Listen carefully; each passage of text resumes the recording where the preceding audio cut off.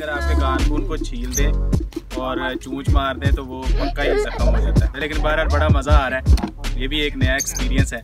आप लोगों के साथ शेयर हो रहा है। जंगल मीन्स के यहाँ पे फार्म्स हैं। सलामकुम आज हम आए हैं जंगलों में तो यहाँ देखें, हर तरफ़ पानी ही पानी है और ये इनके फार्म्स हैं फ़िश फार्म और फ़िश फार्म के पास ही बिल्कुल तोतों की मार्केट है। छोटी सी मार्केट है, होती तो ये हर संडे को है या दूसरे वीक्स में होती है कि नहीं होती, ये नहीं पता। लेकिन यहाँ पे हम पहले भी आए थे कोई दो तीन साल पहले तो ये इधर ही थे। और आज भी आए हैं तो आज ये इधर ही हैं। ये देखें, ये हैं पैरट। कौन सी नस्ल का है, ये आप देख लेंगे।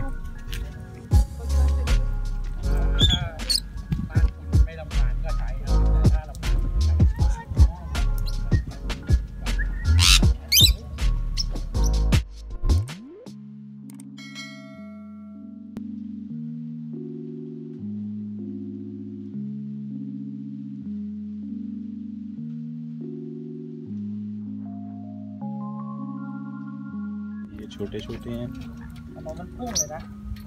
ये जो नॉर्मल होते हैं बोलने वाले ये वो गलत होते हैं।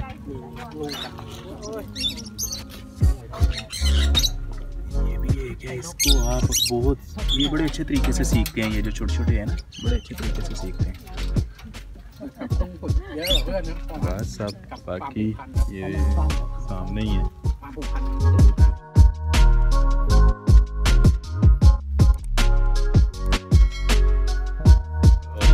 ये मेरे पास एक आ गया तोता। वो कह रहा है कि मुझे भी अंदर लेके आए।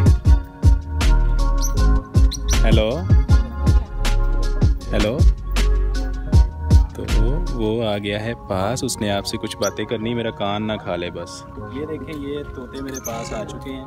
इससे डर, इस वजह से लगता है कि ये अगर आपके कान को छील दें और चूच मार दें तो वो पक्का ही जख्म हो जाता है। और मेरे पास आ गए लेकिन बहरहाल बड़ा मज़ा आ रहा है। ये भी एक नया एक्सपीरियंस है। आप लोगों के साथ शेयर हो रहा है।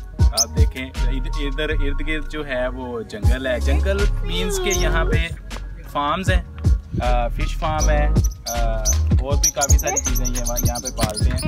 और हम लोग यहाँ पे आए अचानक अचानक हमने देखा कि यहाँ पे तोतों की मार्केट है। तो हमने सोचा हम आपको दिखाएँ। और बहुत मज़े की जगह है बहुत मज़े की जगह है। ये मैं दावे से कह सकता हूँ कि अभी तक आपने ये वाली जगह नहीं देखी होगी। अगर आपने नहीं देखी तो यहाँ आके इसको ज़रूर देखें। ये देखें, ये मुझे खा रहा है पीछे इसको कुछ ना कुछ मिल रहा है इधर। नहीं बस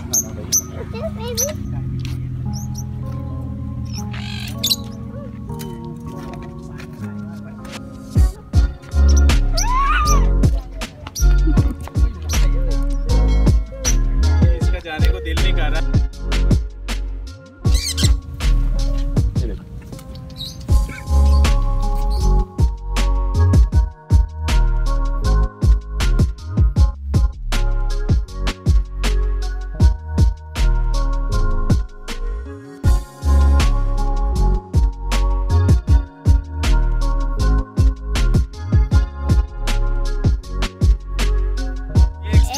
भाई कैसा लगा?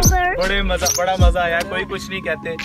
बड़े आराम से आपके पास आ जाते हैं बस वो हल्का हल्का वो जो उससे थोड़ा थोड़ा ये होता है कि कहीं आपका कान ना वो उठा ले। चले मिलते हैं किसी अगले ब्लॉग में तब तक, तक के लिए अल्लाह हाफिज़। Good bye